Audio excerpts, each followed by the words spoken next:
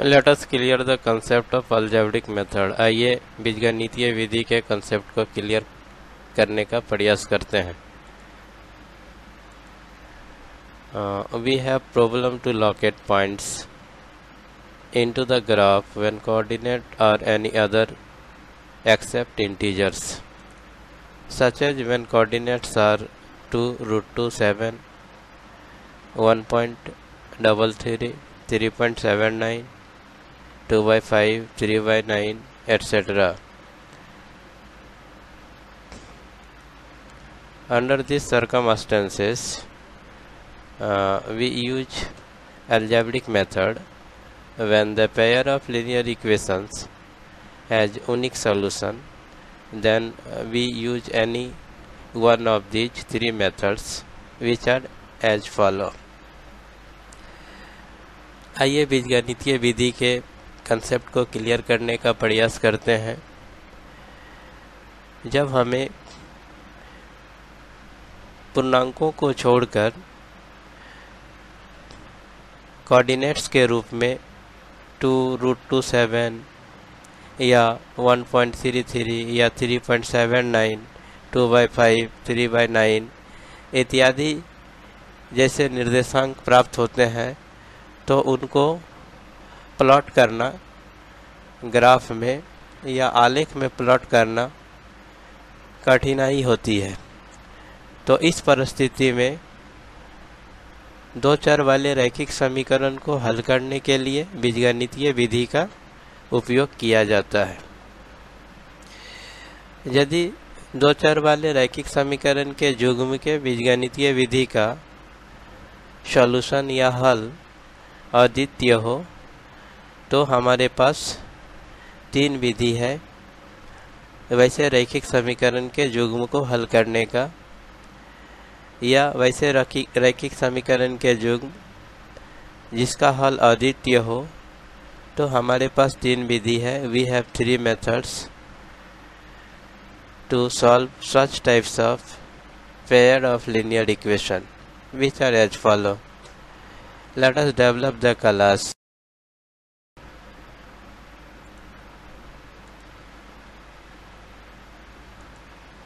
For this we consider about a pair of linear equations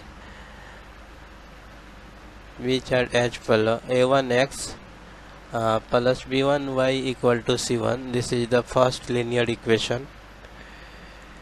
A2x plus b2y equal to c2 this is second linear equation. Uh, a1 by a2 not equal to b1 by b2 then we say that pair of linear equation has unique solution. When a1 by a2 equal to b1 by b2 equal to c1 by c2 then we say that pair of linear equation has infinite many solution.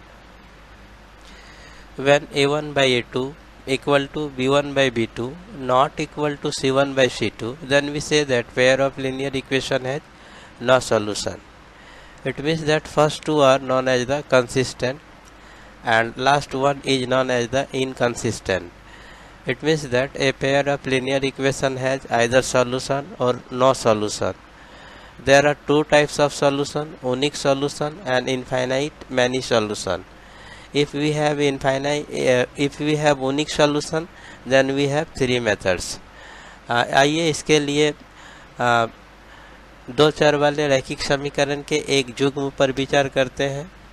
यहाँ a one x plus b one y equal to c one पहला रैखिक समीकरण है। इसी प्रकार a two x plus b two y equal to c two दूसरा रैखिक समीकरण है। यदि a one by a two b one by b two के बराबर नहीं है तो हम कह सकते हैं कि जो दिया गया रैखिक समीकरण का युग्म है, उसका अद्वित हल होगा। यदि a one by a two बराबर b one by b two बराबर c one by c two हो तो हम कह सकते हैं कि दिए गए रैखिक समीकरण का अनगिनत अनेक हल होंगे। यदि a one by a two बराबर b one by b two not equal to c one by c two तो हम कह सकते हैं कि दिए गए रैखिक समीकरण युग्म का कोई हल नहीं होगा। अर्थात वैसे रैखिक समीकरण का युग्म जिसका हल होता है, उसे संगत कहा जाता है, और जिसका हल नहीं होता है, उसे असंगत कहा जाता है। आइए कक्षा को आगे बढ़ाते हैं।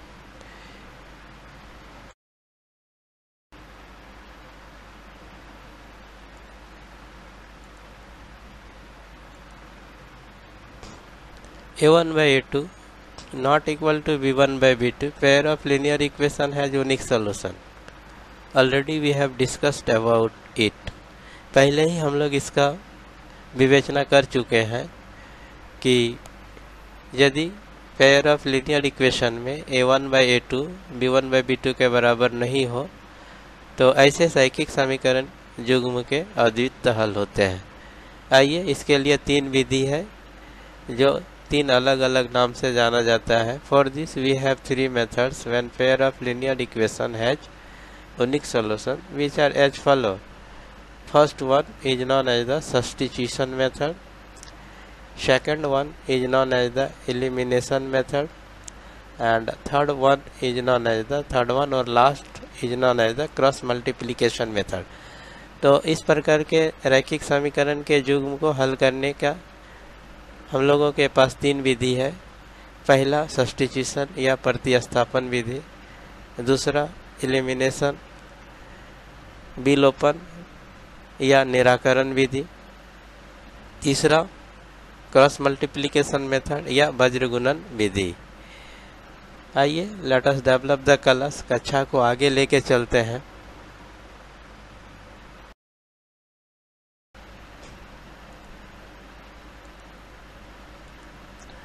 For this we consider about a pair of linear equation. We recall first linear equation uh, a1x plus b1y equal to c1 this is the first linear equation. A2x plus b2y equal to c2 this is second linear equation. Uh, from equation number 1 uh, we find out the value of x.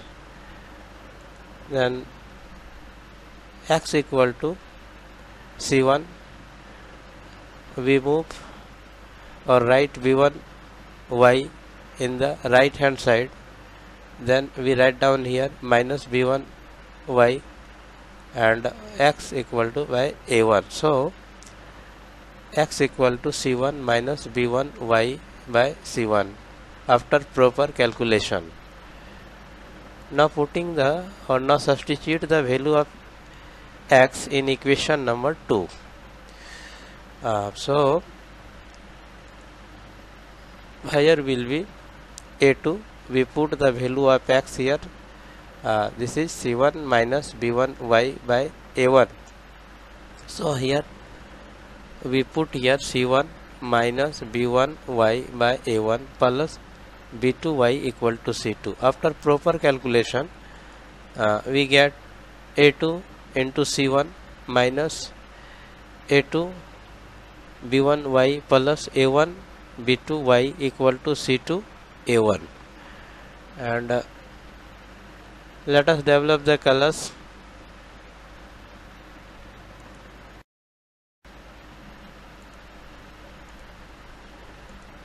So a2 into c1 minus a2 minus 8 sorry a2 into b1 y plus a1 b2 y equal to c2 a1 after proper calculation uh, y equal to c2 into a1 minus c1 into a2 by a1 into b2 minus a2 into b1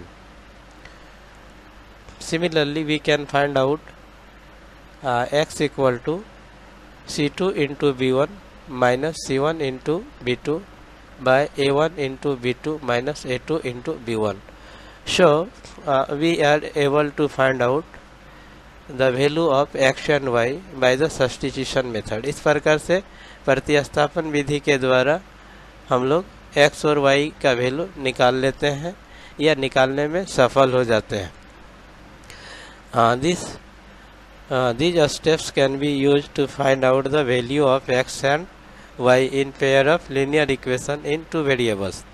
तो इस steps का उपयोग pair of linear equation के variables के value को find out करने में किया जाता है।